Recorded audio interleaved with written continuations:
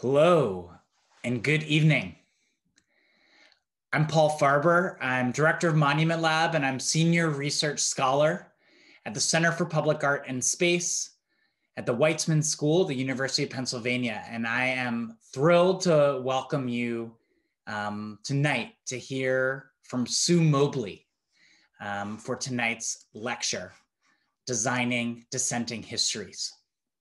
Um, the Center for Public Art and Space is a platform for artistic research and civic engagement at the University of Pennsylvania's Weitzman School of Design.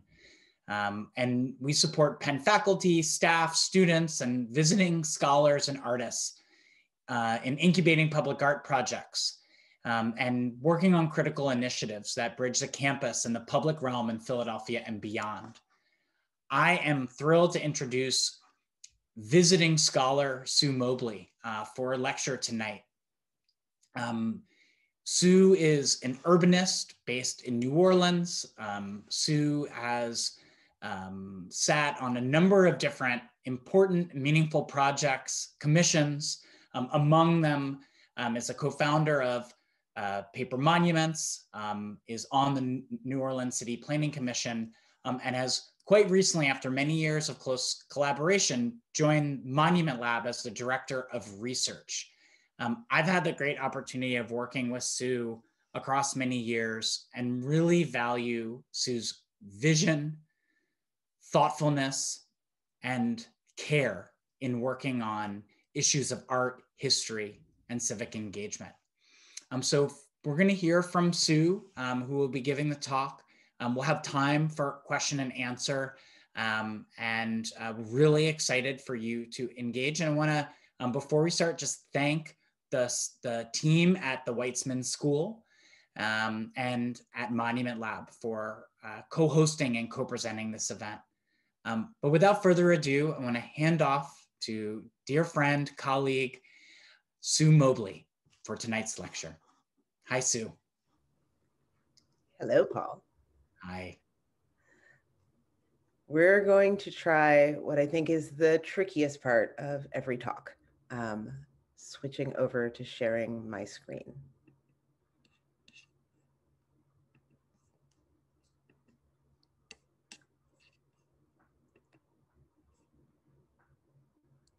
Okay, that seems to have worked. The looks project. Hmm? It looks great, Sue. Awesome. I'm never sure. The projects that I'm exploring today and inviting you to explore with me are a series of interventions expanding how we engage with, interrogate, and understand history in public. Because I believe that in public is the place where we most need to engage history. These projects have taken place over the past four years, and in many ways, they map my personal response to the imperatives that drove the Trump administration. History making as a project and as an inherently political project is largely enacted through the synthesis of contested narratives into a singular and unassailable voice of authority by people who have the power to make that synthesis happen. The subaltern, the rest of us, are erased, or at best referred to in aggregate while those who had power and agency are given their names, given credit for their own actions and the actions of others, and inevitably given the benefit of the doubt.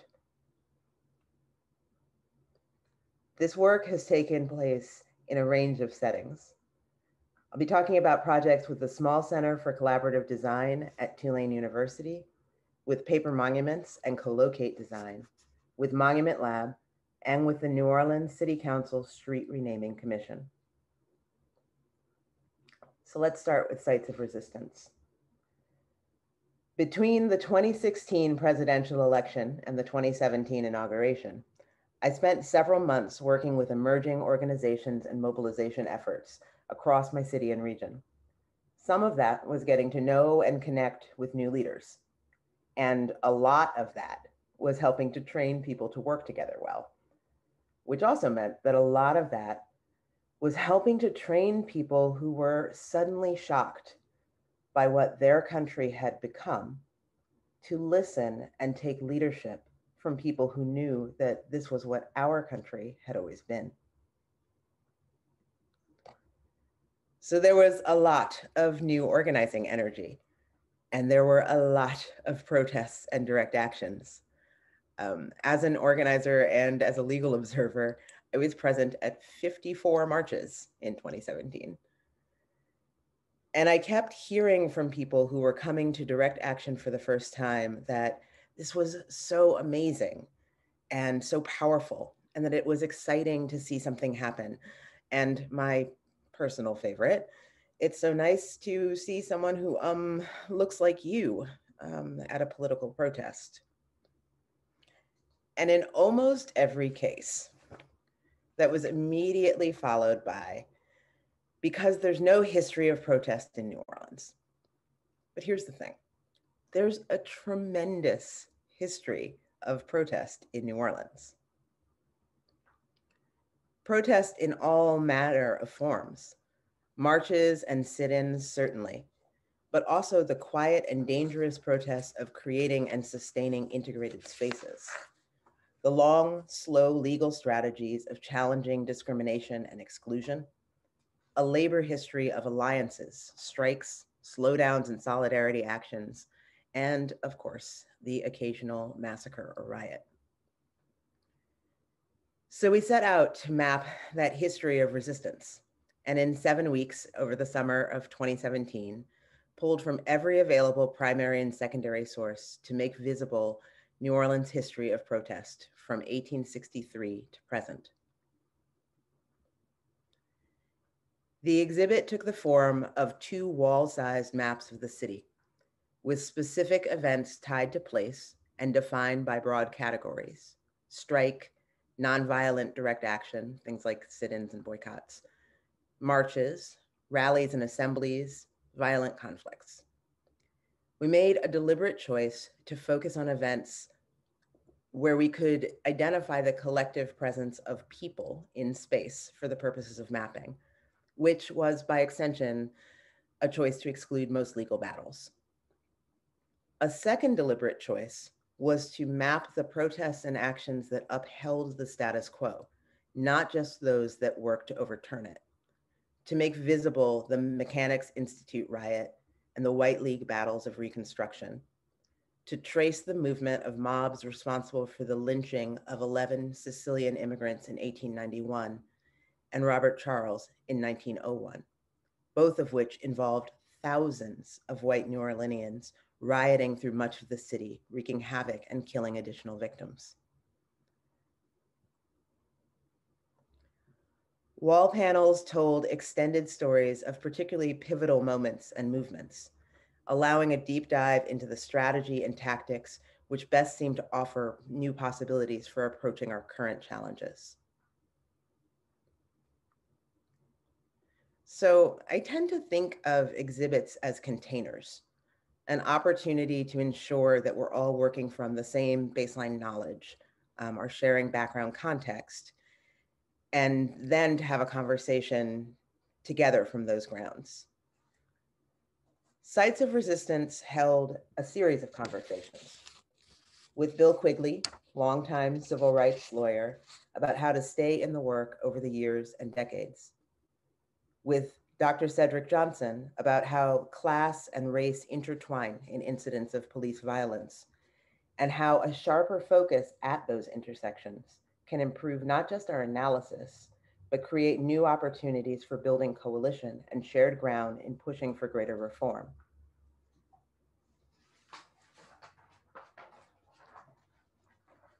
Sites of Resistance also held a series of panel discussions which I deliberately stacked with intergenerational groups of women, where we gathered to dive deeply into conversation about the nuts and bolts of political organizing, from the community level through voter registration and engagement, policy work, and running campaigns, and to talk about the emergence of a newly energized labor movement, which is seeing its greatest strides in areas of work that are traditionally feminized teaching, nursing, domestic labor, care labor A simple and accessible hands-on portion of the exhibit allowed for crowdsourced mapping of protest from 1990 to present.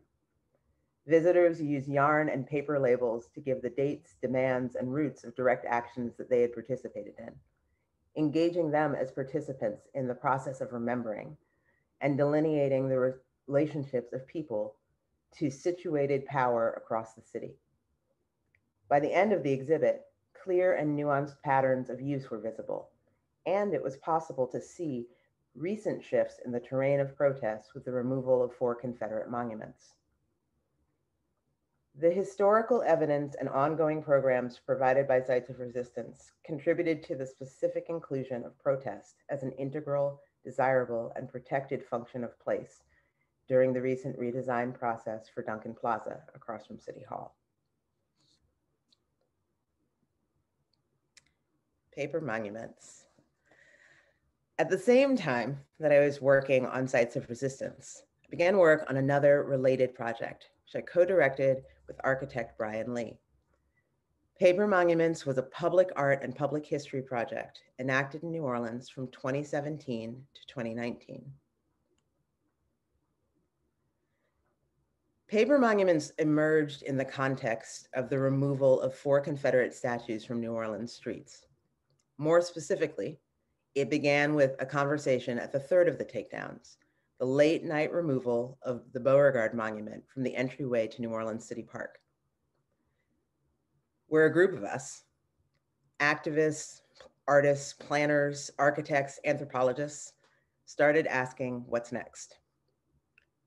But paper monuments also developed in the context of a much longer standing project with roots in a group of scholars, myself included, who had built an intellectual community around the work of unexceptionalizing New Orleans, weaving it back into the larger historical, political, and social narratives of the South, of the Atlantic world, and of the nation. We're working against the centrality of tourism um, and the tourism narrative to perceptions of New Orleans history, which are so strong that they have shaped scholarly work and define public investment. They've created a shorthand of cultural signifiers that authentically typify the city.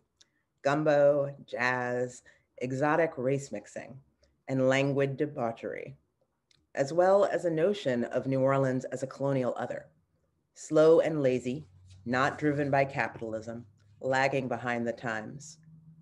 And that notion is wild it's a rescripting of a critical port, which was formerly capital of the domestic slave trade, and whose destruction and rebuilding after Hurricane Katrina laid bare the depths of inequity created by neoliberal logics and served as a laboratory for the American version of disaster capitalism that we are seeing enacted all of the time. New Orleans isn't left behind, it's a predictive city. The economic motives behind New Orleans historical construction as a tourism marketing device are particularly transparent. However, it only really differs from more traditional history making processes because of that transparency and because of the persistence and the large paychecks of uh, the messengers within that market driven framework. Anyway, Paper monuments drew heavily on our collective backgrounds in community engaged design to layer various modes of public art and public history.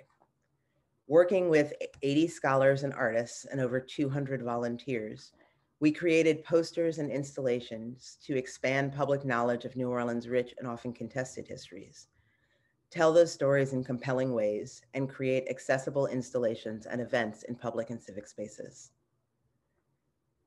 To challenge the authority of New Orleans' known and marketed history, paper monuments relied heavily on the network of, of formal scholars for our poster series, asking that they lend their expertise to the project of disrupting conceptions of history while admittedly upholding academic hierarchy.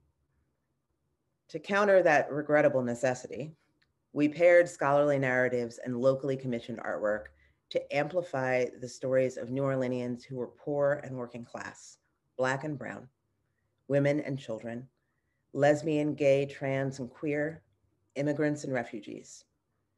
Those who fought battles for inclusion and justice, who worked to improve lives and bring hope, and who are extremely unlikely to be elevated on any pedestal. We also collected nearly 1,200 public proposals for new monuments, inviting residents to imagine new monuments for New Orleans and modeling our approach to data collection after our sibling project, Monument Lab. Our goal was a radically democratic one. We wanted every resident of New Orleans to have an opportunity to have a voice in this process. Public proposals were the core of paper monuments, an expansive pool of prospective monuments, memorials, policy proposals, and public art that range from the intimate to the epic and told the stories that are important to New Orleans residents.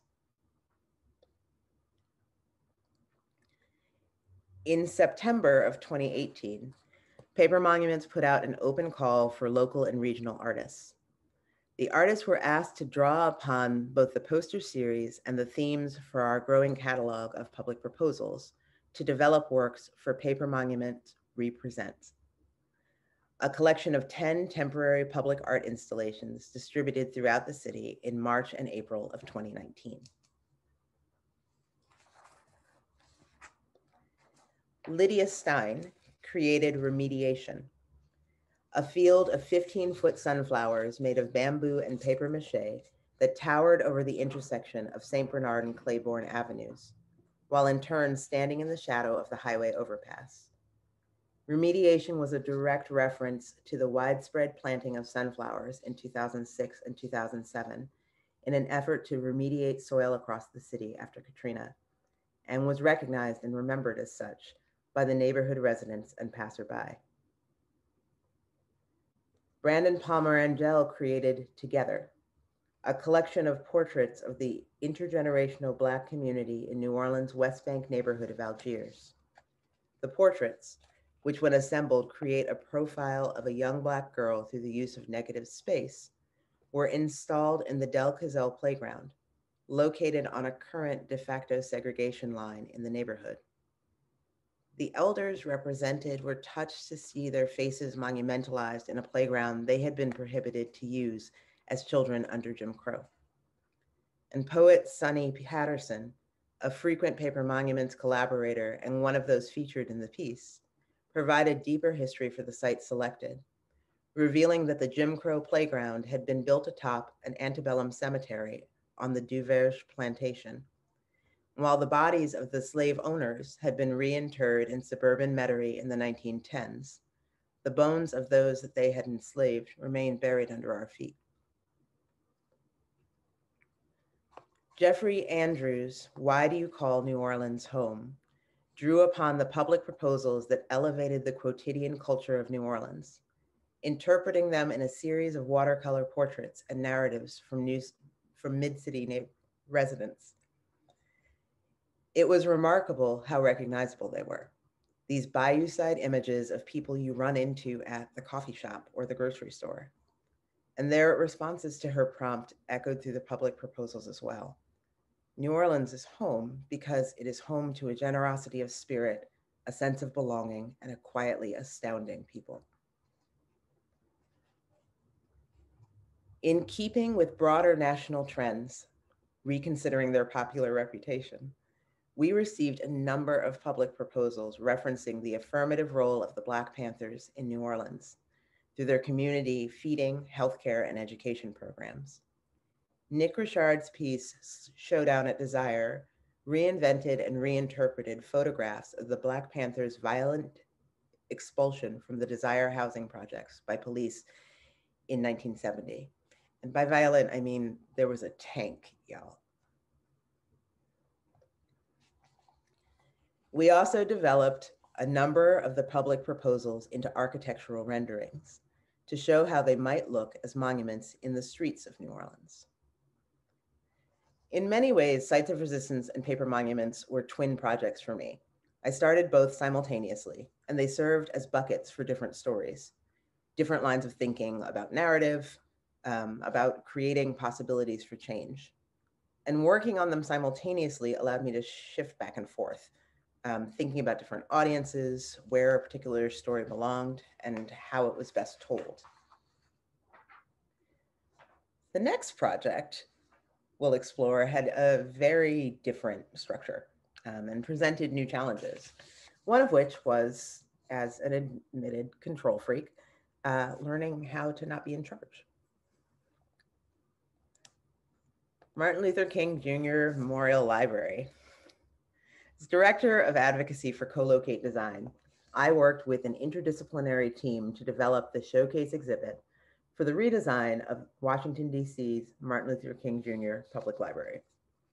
The team brought together Studio Joseph, Workhorse, Bluecadet, Open Box, Cubic Maltby, three advisory groups, and of course, the public library staff. Our charge was to develop an exhibit that recontextualized Martin Luther King Jr. within the city of Washington, D.C., and within a larger lineage of activist movements, and to connect the civil rights movement of the 1950s and 60s to the present. Oh, and of course, to make it engaging, accessible, and immersive, both for the people who had been present at the events shown, as well as those who wouldn't be born for 50 years later. That seems easy enough, right?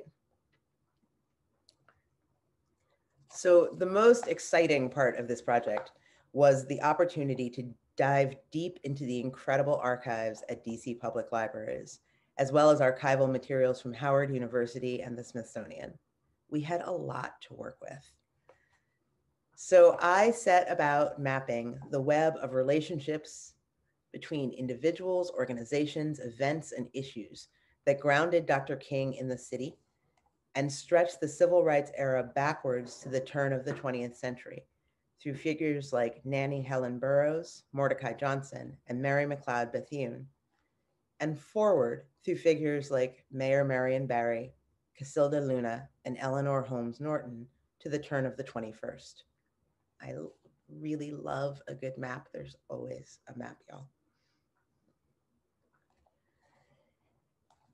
There was a central shared understanding that this large, somewhat unwieldy collaborative design group brought to the table. If we were going to meet any of the goals laid out for the project, we needed to break fully with the normal presentation of the civil rights movement.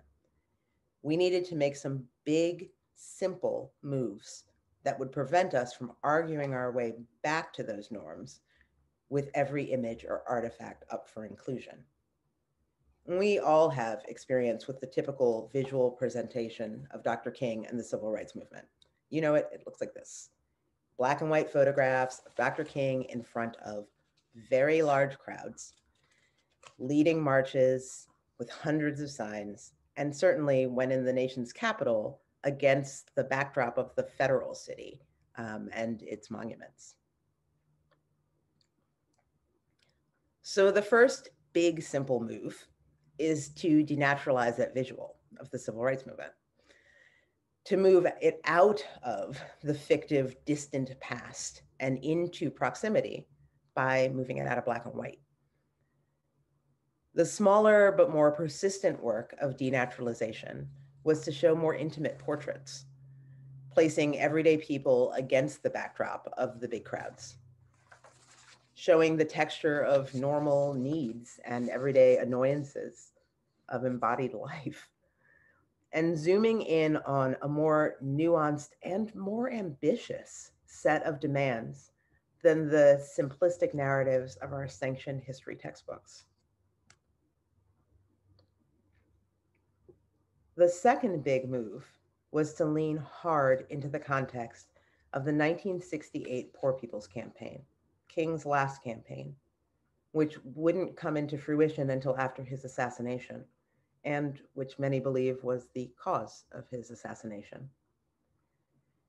We did this in part by echoing the form and massing of Resurrection City, the 90 day village on the National Mall, which had, in its own time, echoed the temporary dwellings of the 1932 Bonus Army, World War I veterans hit hard by the Depression and denied payment for their service to the country.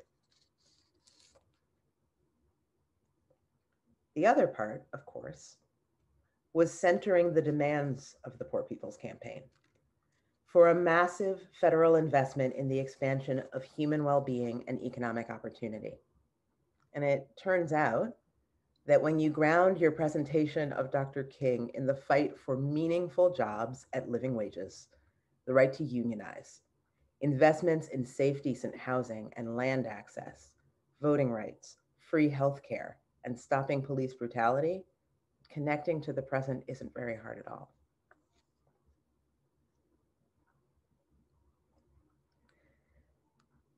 New Orleans City Council Streets Renaming Commission. I was talking on the phone one morning when suddenly a bunch of text messages came through and I ignored them. So that was unwise. Don't do that. Imagine my surprise when I finally got off the phone and discovered that my favorite city council member had from the podium into the public record voluntold me that I would be developing a process to rename all of New Orleans Confederate streets in the wake of George Floyd's murder and the ensuing protests. Yeah, like that. It was early in the morning, too. On the face of it, that sounds reasonably straightforward. In 2015, the Times Picayune published a map of Confederate streets, places, and a handful of monuments as the discussions began about taking the ladder down. It's fairly easy to identify guys like General Robert E. Lee, Confederate President Jefferson Davis, and hometown favorite Pierre Gustave Toutant Beauregard as the names to remove, right? Well, actually, it's a little bit more complicated than that. So this process began with developing an ordinance that would define the terms under which the streets were identified for removal and establishing the independent commission that would guide the process of recommending names for removal and replacement. New Orleans City Council motion number M2170 laid out extremely clear terms for removal. The role of the individual or group in fomenting the treason committed against the United States of America and the US Constitution between 1861 and 1865 the role of the individual or group in the denial of the protections and rights afforded to citizens outlined, outlined in the 13th Amendment to the US Constitution after 1865, the 14th Amendment to the US Constitution after 1868, and the 15th Amendment to the US Constitution after 1870. That was, I promise you, the last straightforward part of this process. So the first speed bump was that we wrote the ordinance to create a committee. But you can't create a committee by city council ordinance. You can create a commission. And someone who has read all of city code more closely than I caught that on one of the rounds of revisions. But also, uh, you can't serve on two commissions at once. And I already serve on the city planning commission. Oops, that's okay because the role I actually wanted to play was a supporting role anyway. So instead of serving on the commission, I worked with longtime co-conspirator Thomas Adams to co-chair the panel of experts, 16 scholars, formal and informal, supported by the archives staff at the New Orleans Public Library, Amistad Research Center, and the New Orleans Historic Collection to provide narratives on the individuals for whom streets were named, histories of how the streets came to be named after them in the Jim Crow era, and develop three proposals for renaming for each location under consideration. That's where the next series of speed bumps come in.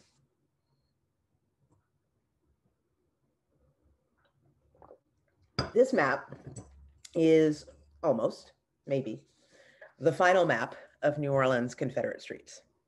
Turned out that the Times Picayune had misidentified a couple of streets as Confederate, which weren't, and missed a number that were the team at the New Orleans Public Library found more streets that were named for Confederates and White Leaguers, but also claimed a few that predated the Civil War. And it turned out, for all of us, that the best regarded historical source on New Orleans street names uh, wasn't as reliable as everybody thought. It also turns out that even when we're looking at the same materials, the ways that we're interpreting them is often very different. The small map at the top is Gardner's 1867 map of New Orleans, which shows an entire street grid through to the lake. On the bottom, Major General Banks' 1863 map of fortifications for Union occupied New Orleans begs to differ. So, why's the difference? Gardner's map was aspirational. It's part of an effort to sell plots of land in swamp that was barely drained in the 1890s. The corporations that owned the land and were raising funds for the draining had drawn streets and named them. The good people of Lakeview brought a counter report to the commission in which they claimed that Gardner's map clearly indicated that the officers and gentlemen for whom these streets were named were being honored for their service in the Mexican American War. Because the 1867 map was too soon after the Civil War to have named anything after them. So, in some ways, that's a silly argument, right? Like, one, the streets simply aren't there. They're not there until the early 1920s when the first residents move into the very wealthy, extremely segregated neighborhood of Lakeview. The Gardner map was a marketing device. It's not an accurate portrayal of facts on the ground. But two, and more importantly, all but one of the guys named went on from fighting in the Mexican American War to fight in the Civil War for the Confederacy. So, still making them names that we should get rid of under this ordinance. On the other hand, the deep dive into the streets of Lakeview turned up two more names to remove. Despite the speed bumps, the streets renaming process offered some incredible opportunities. As co-chair of the panel of scholars that advised the commission, we were tasked with proposing 111 replacement possibilities, three for each street or park that fit the ordinance's purview. And there were so many incredible people to propose. Here are a few. Governor Pinchback, Lieutenant Governor Oscar Dunn, and several other Black Union officers who went on to serve in elected positions at local, state, and federal levels during Reconstruction. For four parallel streets in Lakeview, we proposed three collections of renames with different themes, and the commission voted to rename in honor of Celestine, George, Margaret Elizabeth, and Jasper, self emancipating enslaved people whose owners held some of the black back swampland that would become that neighborhood. We propose Father Louis J. Twomey Jesuit brother, social justice organizer, and official at Loyola University, whose life goal was to create a society in which the dignity of the human person, in whomsoever found, shall be acknowledged, respected, and protected. Proposed Sarah Towles Reed, founder of the local affiliate of the American Federation of Teachers, whose activism and organizing was responsible for equalizing pay for male and female teachers, overturning the prohibition against employing married women, and whose work with African American teachers for salary raises and unionization led to her facing charges of communism. Rodolphe Desdunes, poet, journalist, and historian, he served as a militiaman fighting white supremacist insurrectionists at the Battle of Liberty Place and was one of the founders of the Comité des Citoyens, whose most famous legal battle, Plessy v. Ferguson, defined the new limits of the Jim Crow era. For Doris Jean Castle, teenage freedom rider and core member of the New Orleans chapter of the Congress of Racial Equality, who spent her career working in poverty eradication and social service programs. Albert Walker Dent, first superintendent of Flint Goodridge Hospital, second president of Dillard University, first Black Fellow of the American College of Hospital Administrators, president of the National Health Con Council from 1953 to 1955, and instrumental in the formation of the United Negro College Fund. This is not a complete list of his accomplishments, y'all. It's wild. and Allison Tootie Montana, big chief of the Yellow Pocahontas tribe of Mardi Gras Indians, who died in 2005 while standing at the podium testifying to city council about police violence towards Black masking Indians and their cultural practices. It really was an honor to have done this work. But along with the opportunities, of course, come the challenges. From the beginning of this process, we've seen a handful of extremely familiar names and faces participating in fairly transparent attempts to pull the commission outside of the bounds of the originating ordinance, proposing replacing the names of specific buildings rather than streets, demanding an expansion to everyone who ever benefited from slavery, and generally trying to tempt the commission into giving them grounds for a lawsuit. We're now beginning to see is a new variation on the standard practices of white wealthy neighborhood associations and their more overt white supremacist allies to throw sand in the gears. In addition to the tactic of splitting streets, which we've generally seen used nationally for MLK boulevards, the quirky new tactic is to propose reversion to pre Confederate names for territory that these groups consider to be theirs by right rather than public space and part of the larger city. So, in response to the Renaming Commission's recommendation to replace Robert E. Lee with beloved musician, songwriter, and producer Allen Toussaint, whose studio and home were on that boulevard, the Neighborhood Association for Lakeview has proposed breaking off their part of the street to revert to the name Hibernia.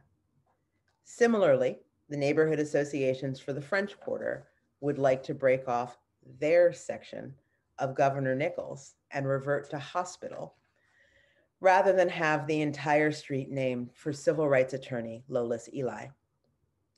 The semi defunct Monumental Task Force has its members petitioning to return Lee Circle to Tivoli Circle, honoring the Italian uh, American community rather than rename it in honor of chef, civil rights activist, and feeder of presidents, Leah Chase. This process is still unfolding. Um, and by still unfolding, I mean I'm getting text updates from today's public hearing while I speak. So after several years, as a co-conspirator. I've finally been pulled into the Monument Lab team. Yes, it was my plan all along. And this summer's research residency with the New Jersey Historical Commission and Council for the Arts to explore the American Revolution prompted a whole new line of thinking for me about how explicit we need to make the history making project. Amber Wiley, an inspiration of mine from back at her days at Tulane Architecture, was one of our summer residents. In her project, looking at the Indian Queen Tavern, she kind of blew our minds. The tavern, if you went to visit it today, would not be found on its original site. That's, that's what the highway is down there. Instead, you would find it as part of the bucolic village setting of East New Jersey, Old Town.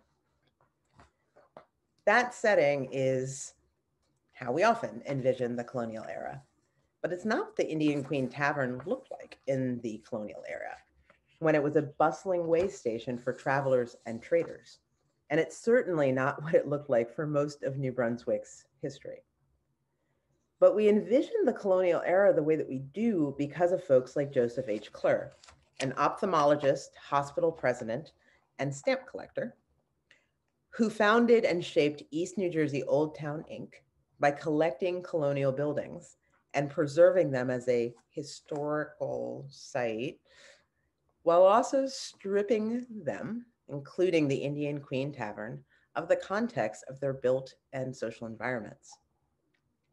So now I'm thinking a lot about not just how we, we reweave narratives and address the silences in the archives and erasures in the historical record, but also about how we restore names and agency to the actors who enforced those silences, who created those erasures, and who shape, reshaped the historical record in their own images. How to denaturalize and elevate the act of history making to show intent and self interest at play in creating the histories that we know, but also to assert our own right to make and shape different histories, to dream together backwards as well as forwards. And I'm thinking a lot right now about what Monument Lab offered to paper monuments back in 2017, about how much we learned and how many mistakes we didn't have to make because our sibling project was always a few steps ahead. And I'm thinking about the space that we held for each other to think and talk about the ways in which the work manifested differently in Philadelphia and New Orleans places with very different histories, very different cultures, and very, very different climates. And I'm thinking about that as I try to envision what it looks like to apply those learnings in 10 cities, how to adapt and support a cohort of field offices which are exploring their own places and their own histories and proposing their own futures. And wondering what it might look like to tell stories to new audiences, to engage in a admittedly shifting national conversation on monumentality, race, and history, to collect speculations and monumental dreams on paper after a pandemic, how to be in public space together again and how on earth to offer as much wisdom, humor, and good common sense as I was lucky enough to find in Paul and Laurie and the Monument Lab team. But those are my questions, and now it's time for yours. Thank you all very, very much for listening to me.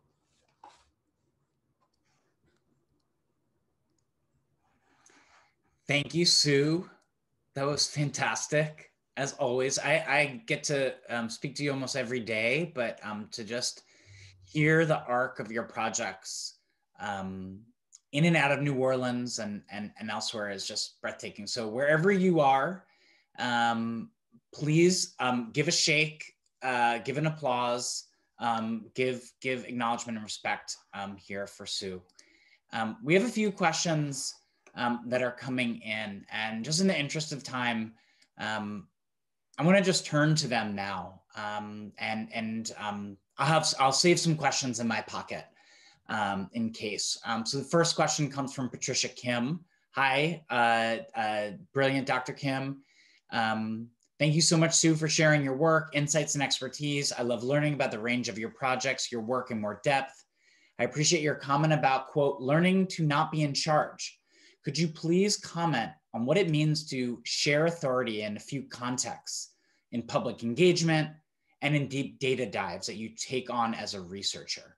I'm thinking about challenges and joy. And again, gratitude to you, Sue, from Dr. Kim. Thank you, Dr. Kim. That's such an incredible question because it's wildly hard um, and always variable not being in charge in deep dive research is giving people tools to like take risks and safety nets so that it's not a case of you went too far and I'm yelling at you um, or you didn't find the thing I wanted. Not being in charge owns when we are creating horizontalism that's fake. Um, it requires that we own how much authority we have, whether it's formal or informal, um, and think about our positionality um, vis-a-vis the people that we're working with. Sometimes that means, you know, admitting that like I'm there is stuff above my pay grade and I won't be making that final decision. I can just make the best argument for it. Sometimes it means making sure that volunteers are trained extremely well to de-escalate conflict um, before they go out into the world where armed white supremacists show up at your events. Hmm. We have another question um, from uh, Asa Anna. Um, and um, more gratitude for your for your great work. And um, and the question is, I see Sue as a cartographer, um, and of course, as a sidebar, behind Sue, of course, um, are lots of maps. Um, and and as the questioner asked, mapping is clearly an important part of your work, um, let alone your your workspace. Can you talk about your experience translating maps? What is that process? Um, I have always loved maps. Um, I was that kid with all the National Geographics uh, middle sections um, and the keeper of the uh, AAA travel ticket uh, on family vacations. I think I am a spatial learner, um, not necessarily a visual one. And so for me, the process of uh, thinking is the process of moving through space and the process of talking. And those are both um, tied together. So if you, if I remember where I was, I can remember what I was saying and I can remember what was happening. Translating that outwards is um, mapping of various varieties seems to be the easiest way to at least begin to show someone else what's going on in my brain. Mapping space together seems to be the easiest way to um, be able to define how we understand it differently. So maps, I think, are good places to start a conversation. Um, and I wish I were a cartographer. That would be super cool. At least unofficially, you are one. Um, so uh, you should get your card carrying. So we have another um, question from Jacqueline Smith. Um, again, much gratitude. Thank you so much for your work. I wonder where the names of anyone still living proposed for the street naming project. How do you feel about immortalizing those whose legacies are still actively evolving? Understanding, of course, that legacies can evolve after death as well. A, a great question. That's an awesome question. Um, like a multi-part answer. One, there was one person who was proposed um, from outside actually of the uh, panel of experts process who is still living. There is some discussion about whether that person um, will remain. New Orleans has a regulation that you have to have been deceased for five years before a street can be proposed in your honor. There's been some discussion about changing that regulation because there are one, we've just lost so many people this past year um, whose legacies are certainly not going to change. Um, and then two, we have a number of folks that are, are worth honoring who don't meet those parameters. It's also sort of an arbitrary parameter, but it addresses the, the latter part of your question, that people's legacies evolve um, after their death. Um, one of the things that was really interesting to me in this process was that there is a whole generation of um, free people of color in New Orleans who we had anticipated proposing street renames for.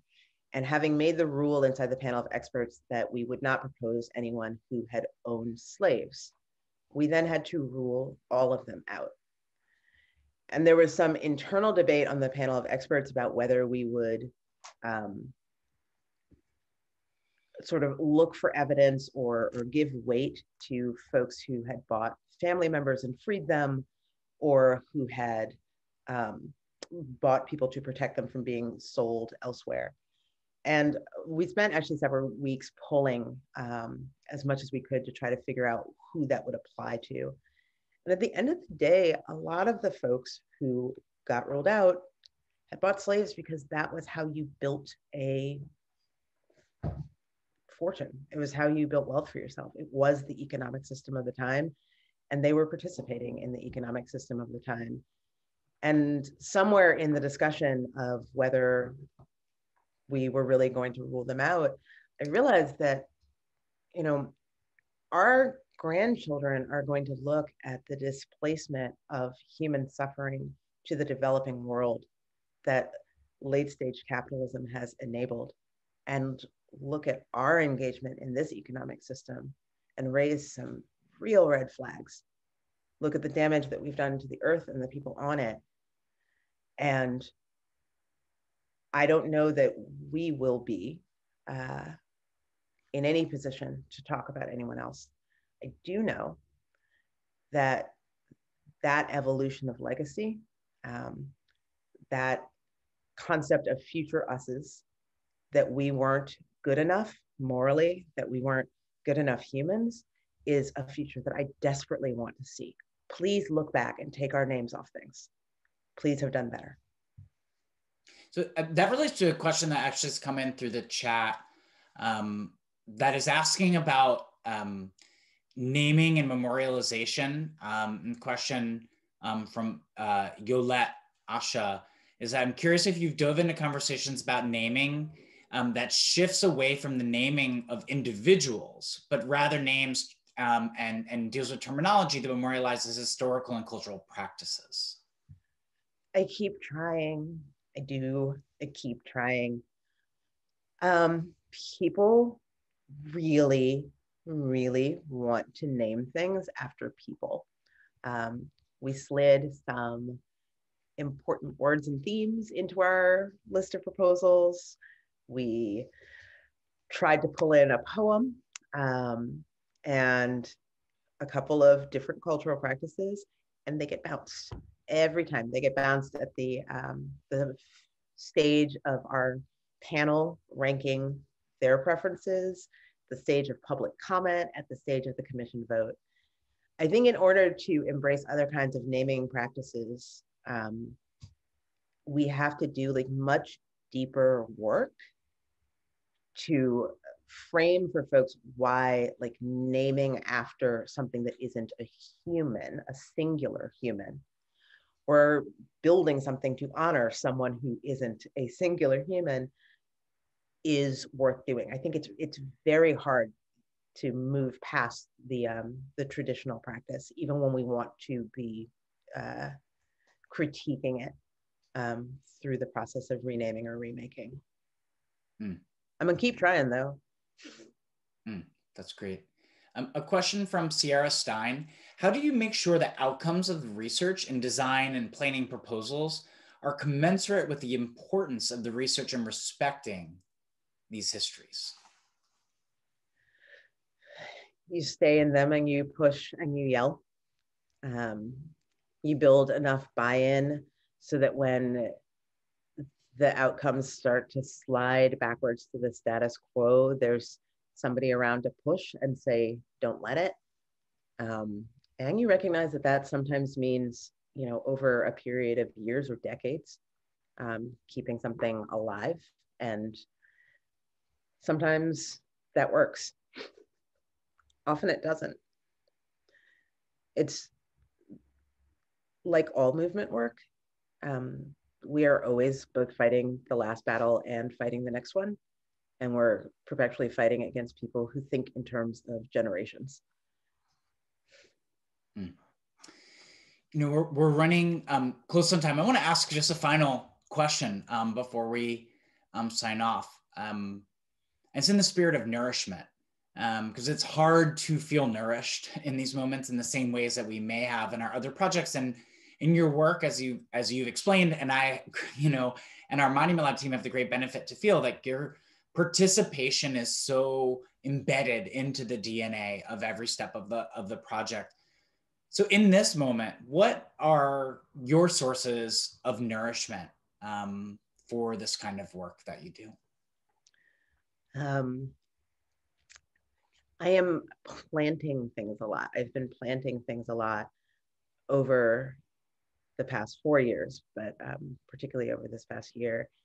And I am finding nourishment in shifting what I'm planting so that I am not growing what all of my neighbors are growing and planting things that will in time grow and hang over my fence and provide food for the people who live around me. Um, so I am finding nourishment in the process of connecting with people now to make sure that our needs are met and the process of thinking about future needs um, and hopefully encouraging us to meet those together. Mm, that's great. Sue, there's so much more to say and to think about, but this has been such a treat. Again, wherever you are, if you can applaud, shake the furniture, bang pots and pans, puts energy out there in gratitude for Sue. Um, I would also encourage you to follow um, Sue on, on Twitter at Winged Isis. You can also follow um, at Weitzman School and at Monument Lab um, to keep up with, with the projects that Sue is working on. Um, I've been getting some texts in that say the question is, Sue, why are you so awesome? Um, so let's echo that and hope that this group gets to convene in other ways. But just thank you so much, Sue, for this lecture, for all your work collaboratively and um, with us and out there in the world. Thank you so much, Paul. Thank you, everybody, for hanging out. If you follow me on Twitter, you get lots of politics. It'll be fun. All right, everyone, good evening. See you again at a Weitzman School event or a Monument Lab event. Um, and gratitude for all of you for joining us. And again, much gratitude for Sue.